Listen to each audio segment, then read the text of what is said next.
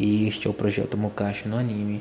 Hoje falaremos aqui sobre um anúncio em um dos jornais mais antigos aí do Brasil que comprovam a utilização do omniógrafo.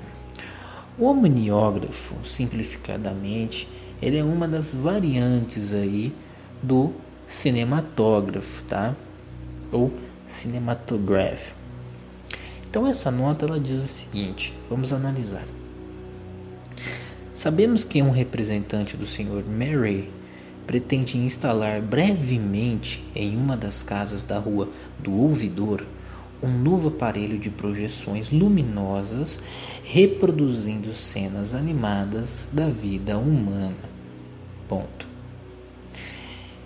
Então a primeira projeção com tal dispositivo acontece em 8 de julho de 1896, ou seja, uma quarta-feira, né, às 14 horas, na Rua do Ouvidor, número 57, no Rio de Janeiro.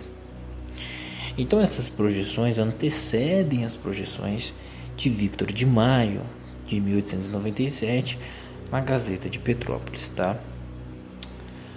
É, chamado de omniógrafo, esse dispositivo, esse aparato de projeção, tal nome ele é mencionado no Diário do Rio Grande em 18 de julho de 1896 como o, omniógrafo, tá?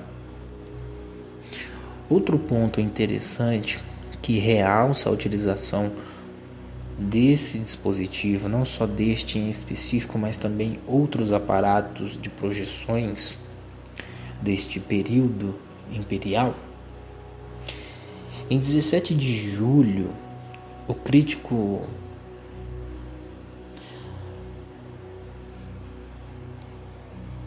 o crítico teatral Arthur Azevedo publicou em O País comentários sobre os filmetes que passaram em casas teatrais. Então, este relato, da, da qual Arthur Azevedo faz comentários, faz menções a essas películas exibidas, nós podemos aqui então pressupor que ele está afirmando que diversas projeções de películas foram realizadas né, nestes teatros.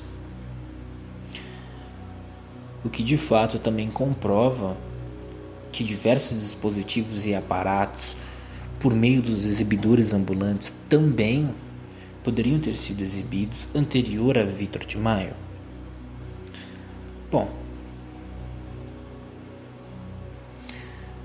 analisando as menções feitas e relações em relação a películas é, dispostas através aí do omniógrafo, podemos pressupor que, como já foi dito, o omniógrafo ele se assemelharia a uma das formas, uma das variantes, como foi dito, do cinematógrafo do estilo Lumière, tá? Agora, isto é mencionado por Sérgio Augusto, né? Que também faz essa classificação, essa observação neste período em relação ao omniógrafo Lumière, né?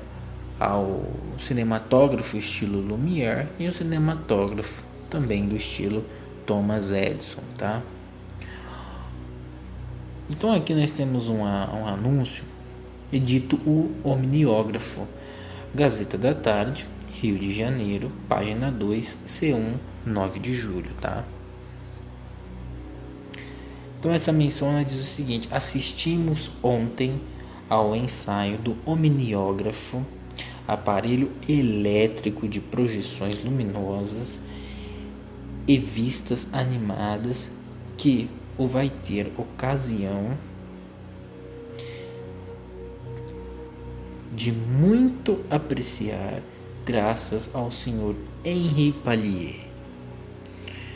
Então seria esta menção do omniógrafo, aparelho elétrico de projeções luminosas e vistas animadas que o vai ter ocasião de muito apreciar graças ao senhor Henri Pallier. Então essa menção ela está disposta na Gazeta da Tarde, em jornais aí, um dos jornais mais importantes que houveram nessa época, tá? Então essas menções, esta, esses anúncios formais do jornal confirmam essas projeções de Henri Pallier, tá? Então isso aqui é uma introdução, tá? Seguindo o vídeo inicial, esse aqui é uma introdução. Vamos ter mais um vídeo e nós vamos trazendo, reunindo informações e análises interessantes em relação a essas películas. Este foi o vídeo de hoje e tchau.